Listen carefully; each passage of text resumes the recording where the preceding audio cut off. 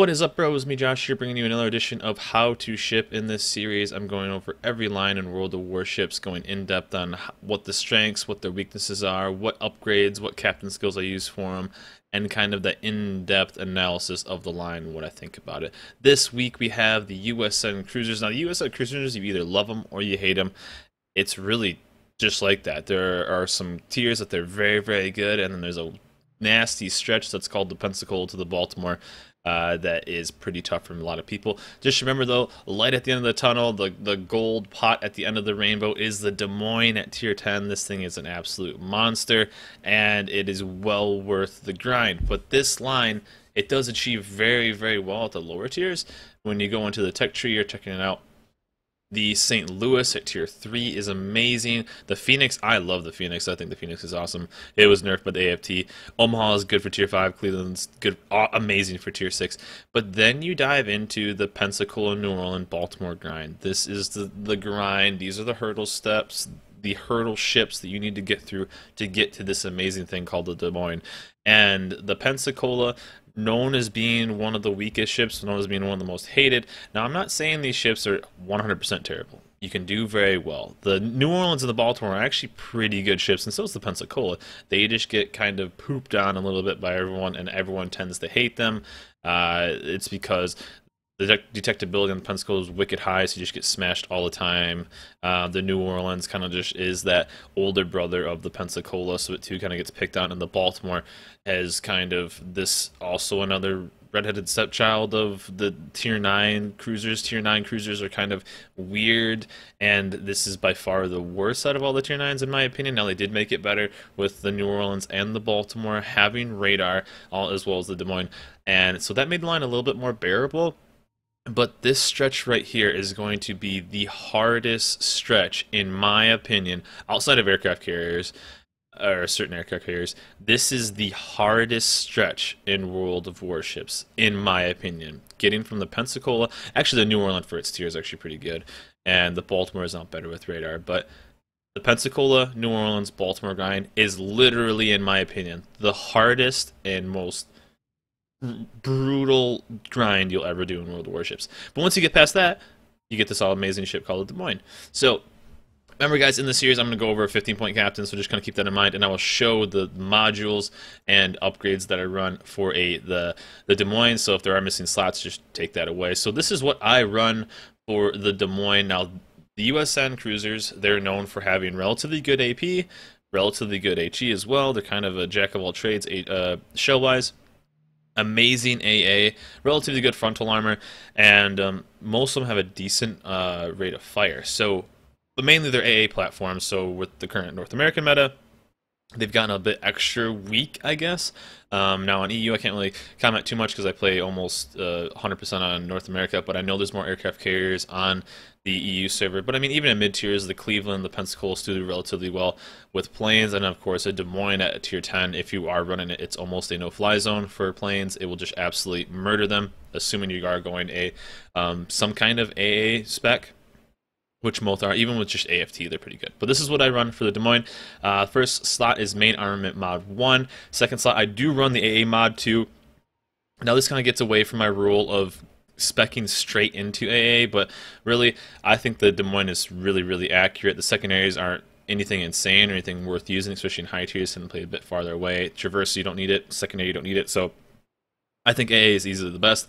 Range, I think this is a must for any cruiser. This goes across every cruiser line, in my opinion. I think anything that gives you range Battleships and destroyers are the bad guys. Yes, I know you're supposed to find the destroyers and kill them and use your radar, but mainly the battleships. Those are the bad guys. Stay as far away from them as possible.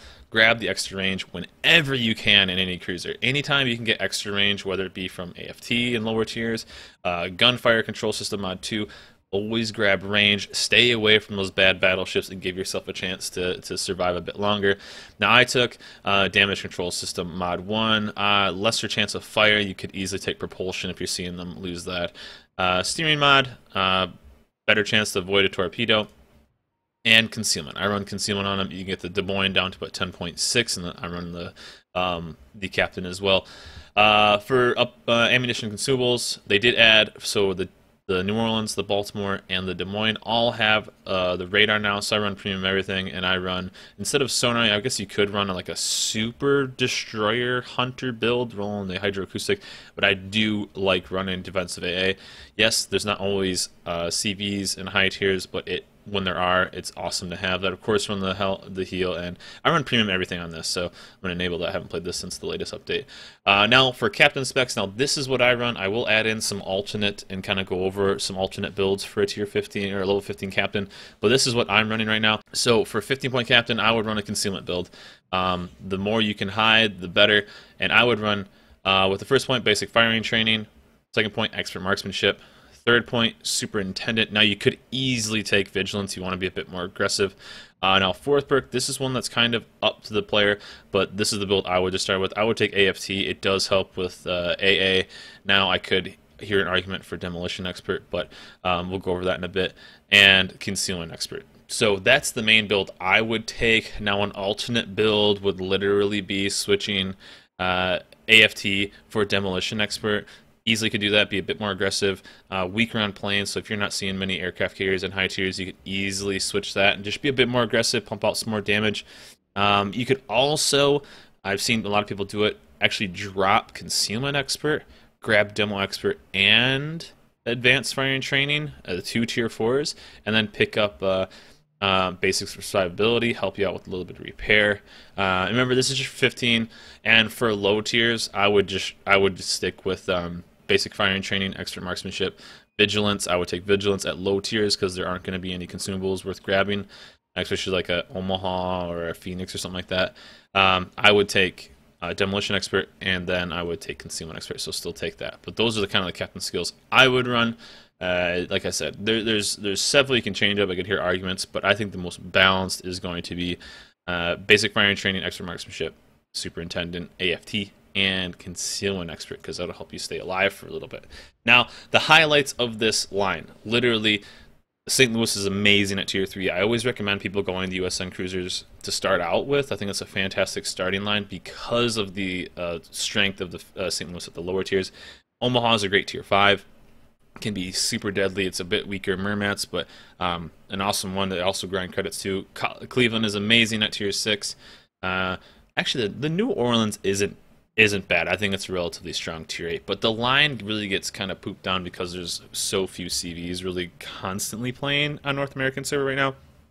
But then remember, the pinnacle is going to be uh, is going to be the Des Moines at tier 10. This is kind of what everyone works for. This is the light at the end of the tunnel.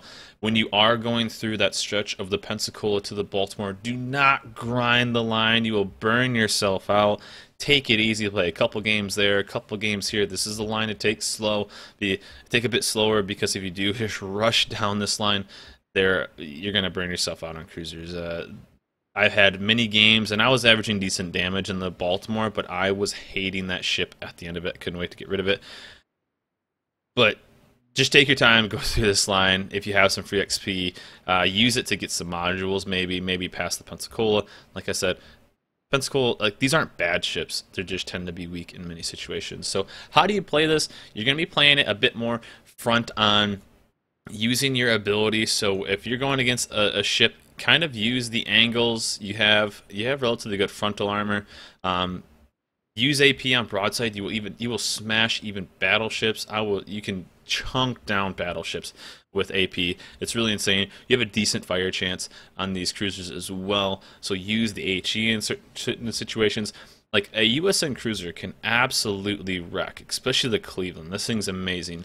Um, the Cleveland has such a high rate of fire for tier six that if you catch something broadside as similar, let's say in Nuremberg, let's say in Omaha, let's say uh, whatever, even up tiering to like a Pensacola, Myoko, whatever's out there, with the rate of fire and the AP, you can absolutely obliterate it. 12 shells going out, that could be 12 possible citadels. It's insane. So, AP on things that are broadside, HE things that aren't giving you a very good uh, angle, but don't get super aggressive with these because they tend to have a citadel problem. Especially the Cleveland's its own little uh, ninth wonder of the world because the, the citadel's actually relatively hard to hit but stuff like the Pensacola, the Omaha, the New Orleans, the Baltimore, the Des Moines, uh, they're all pretty flat sides, so it's they're kind of a battleship's dream of getting one of you caught broadside. So try to avoid staying broadside. Use your angles.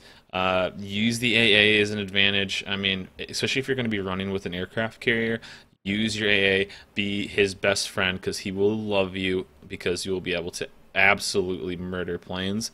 Um, and there's also like kind of two ways to play. it. You can play a bit more defensive with the uh, concealment expert and AFT. And you can also build it very, very aggressive, especially with the high tiers, with uh, demolition expert, kind of doubling up on stuff. Um, I've even seen like kind of a jack of all trades uh, build. I don't know if I'd highly recommend that, but that would let you be a bit more, or like actually very, very aggressive, pump out the radar, um, be an anti DD. Uh, I don't know if it's quite the best, but it is is possible. But all in all, this is a good line. It's just weaker right now, mainly because of the meta. If there were more aircraft carriers, if there were aircraft carriers like in every game, this line would be much stronger. But the reason that it isn't this holy grail of a line that it kind of was in closed beta is because there's a lack of planes. And if there were more planes, these things would be much more scary. I mean, if if there is a CV, you're gonna avoid these, and there's still you still have to be careful. If, if you're a Ryujo, if you're an Indy, you're not going near Cleveland because you're gonna lose your planes. So in that aspect, they're still strong, but just strong in certain situations. I do recommend going down the line. They can do a very, very good job. Like I said, there's a ton of premium ships too. The Atlanta, the Indianapolis, uh, the Marblehead, so you can kind of get some extra. Uh, extra XP done, and if you got the Flint, there's also that as well. So there are some good ships. Uh, it has the strength of the radar and a good rate of fire. So all in all, I do like this line. I think it just has some downsides, and it just so happens to be kind of three ships in a row. Like I said, they're not terrible ships. They just tend to be weak and can tend to kind of underperform um, damage wise and kind of playstyle wise. But um, let me know what you guys think of the uh, of the USN Cruiser line. I liked it. I grounded out. It was one of my you know back. I played it kind of differently when there's a different meta going on, so it was still relatively strong. I kind of struggled through the Baltimore because I got it the Baltimore before the radar, so it was kind of Baltimore without this secret uh, weapon. But let me know in the comments below what you guys thought of the USN Cruiser line, what you guys would like to see uh, how to ship next, and um, let me know how you guys' games going. So that is it for me, guys. That was the USN Cruisers, a good line, uh, a fun line, really, and an amazing line, kind of that mid to low tier. Um, really, really enjoy playing it. But hope you guys have a good one, and good luck out there.